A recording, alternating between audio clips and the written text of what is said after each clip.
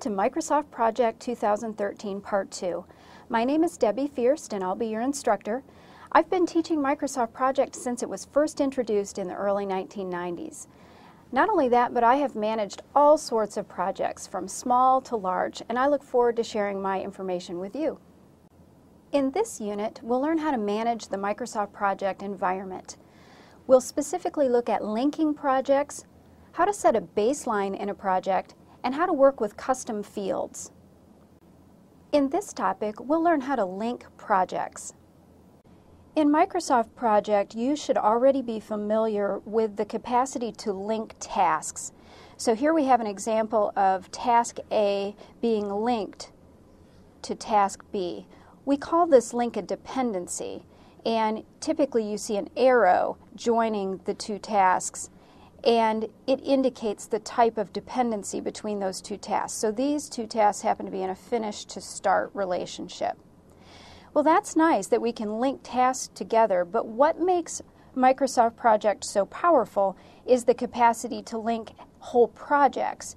So maybe my project stands alone and has nothing to do with any other project, but maybe I'm in a situation where different departments or different individuals throughout my organization are handling different parts of a project inside of their own Microsoft project files, and we need to bring those together.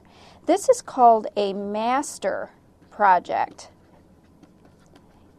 We would create a master project and then insert what are called sub-projects. So each person would be responsible for a sub-project and we would bring them together in a master project. Then what we can do is we can create links between those projects. Individual tasks in one project plan can then be linked to an individual task in another project plan. In order to create a master and subproject scenario, you create your master file just a regular old Microsoft project file. It doesn't have to have anything in it. And then you go to the Project tab on your menu and select in the Insert group Subproject. What is going to happen when you do that is it'll bring up a dialog box for you to navigate in your file system to the project that you want to insert as a subproject. This could be out on your SkyDrive, it could be in SharePoint, it could be on a local hard drive.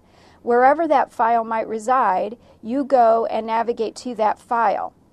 Then you have some decisions to make.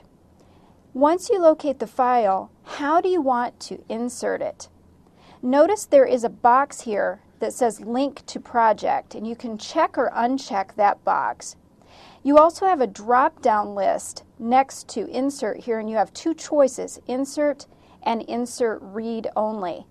So let's discuss those three options. If you check the box that says link to project and you choose insert, you are creating a two-way link between your sub-project and your master project. What that means is that if you make any changes in the sub-project or the master project file, it is going to be reflected in the other version of the file. So in other words, if I navigated out to uh, my C drive in a folder called test, that's where my sub-project resides. And my master project is on the C drive in a folder called master. I really have two copies of that subproject folder. I have the one that still sits out on test, and I have the one that is part of my master file. So this sort of link is going to mean that any changes made in either copy will be reflected in the other.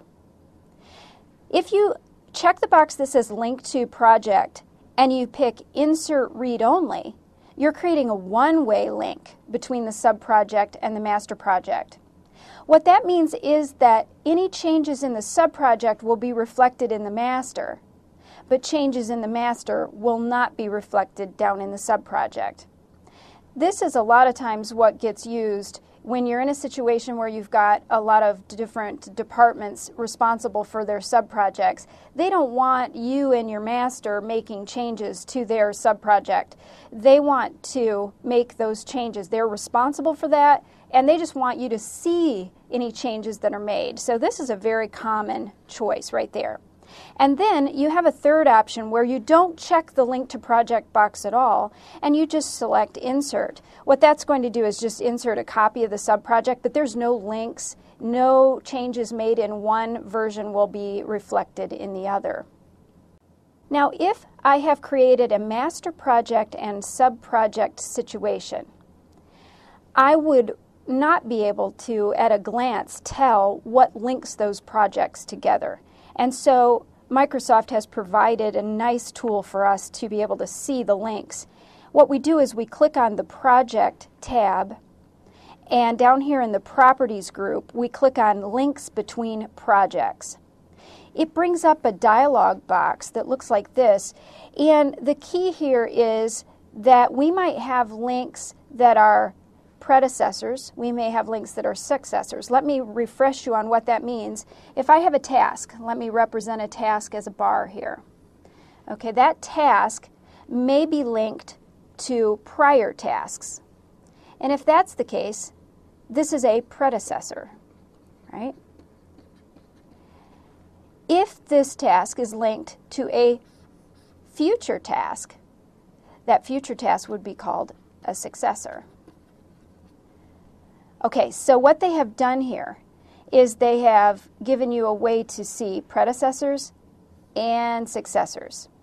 So what this is showing us is that task 4 in the master project is related to subproject task 2C.